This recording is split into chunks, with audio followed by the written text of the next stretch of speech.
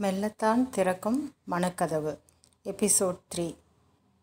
Last எபிசோடில் ஆதிக்கு கஷாயம் எடுத்துகிட்டு வந்த பார்வதியை பார்த்து எல்லாரும் கோவப்பட மனஜா அவளை கீழே தள்ளிடுறாங்க. மயங்கிய பார்வதியை ஆதி தன் மடியில் வச்சு புலம்ப அகிலா டென்ஷன் ஆகிறாங்க வாங்க இந்த எபிசோடில் என்ன நடக்குதுன்னு அகிலா வீட்டுக்கு போவோம். மனஜா மகாராணி கண் முழிச்சிட்டாங்க. இப்போ சொல்லு ஆதி இந்த நேரம் இவன் ரூமில் ஏன் வந்தா? இவன் தப்பான நோக்கத்தில் தானே வந்திருக்கா? அக்காவுக்கு இப்படி ஒரு நம்பிக்கை துரோகத்தை எப்படி செய்ய முடிஞ்சதுன்னு சொல்கிறாங்க ஆதி அகிலாவை பார்த்து அம்மா எனக்கு ஃபீவர் பார்வதி தான் வந்து கஷாயம் கொடுத்தா. நான் கால் பண்ணல.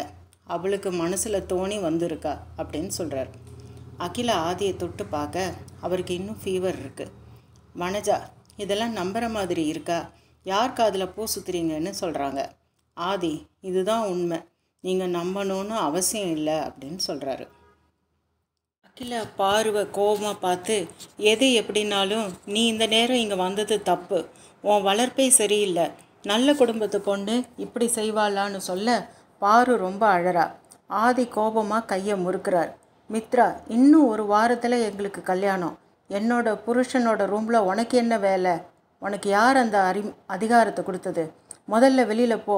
ஆண்டி இவளை அடித்து துரத்துங்கன்னு சொல்கிறா ஆதி கடும் கோபத்தோட அவளை வெளியில் அனுப்புறதுக்கு நீ யார்? ஏன் ரூமுக்கு வர அவளுக்கு இல்லாத உரிமை வேற யாருக்கு இருக்குது அவள் யார் தெரியுமான்னு சொல்லி பார்வதிக்கு கண்ணை காட்டுறார். பாரு பயந்து மாட்டேன்னு தலையை ஆட்ட ஆதி இப்போ வெளியில் எடு அப்படின்னு கத்த பாரு தன்னோட தாலியை வெளியில் எடுக்கிறார் அகிலா ஷாக் ஆகி நில குலைஞ்சு ரெண்டு ஸ்டெப்பு பின்னாடி போகிறாங்க வாயை அடைச்சி போயிடுச்சு. வில்லேஸும் ஷாக் ஆயிட்டாங்க. மித்ரா ஆதி இப்படி என்னை ஏமாத்திட்டீங்களேன்னு அழறா. வனஜா மித்ரா இந்த திருட்டு தாலியை பார்த்து ஏன் பயப்படுற? அவளை அடித்து துரத்திட்டு உனக்கும் ஆதிக்கும் அக்கா கல்யாணம் பண்ணி வைப்பாங்கன்னு சொல்கிறாங்க ஆதி கோவமா இது திருட்டு தாலி இல்லை.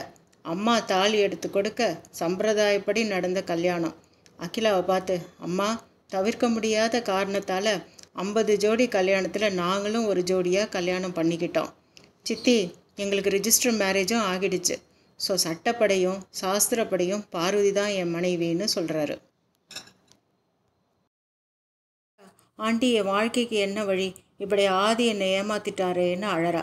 அப்போ போதும் மித்ரா நிறுத்து அப்படின்னு ஒரு குரல் கேட்குது வாசலில் ஷியாம் நிற்கிறார் ஷியாம் உள்ளே வந்துட்டு நிறுத்து மித்ரா ஏமாத்துறது உங்கள் நாகபுரி வம்சத்து வேலை.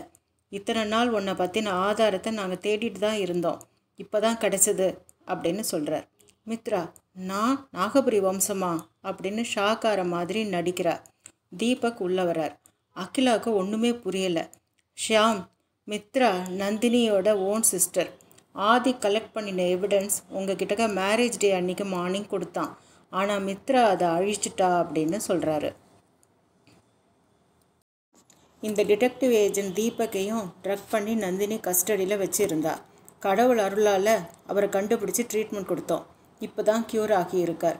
எவிடன்ஸை கொண்டு வந்திருக்கோம் அப்படின்னு சொல்கிறார் மித்ராவும் வனஜாவும் பயப்படுறாங்க.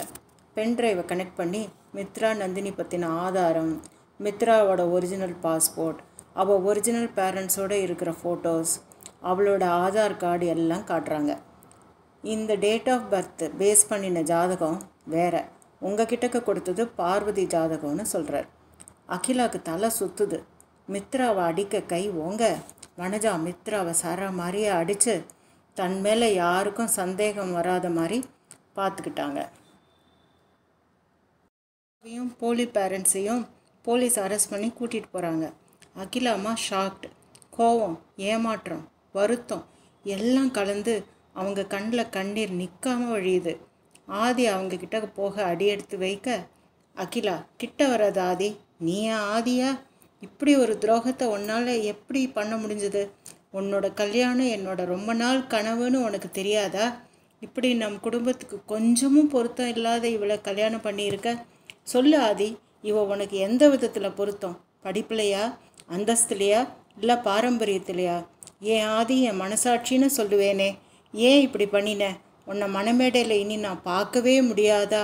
அப்படின்னு கதறி அழறாங்க.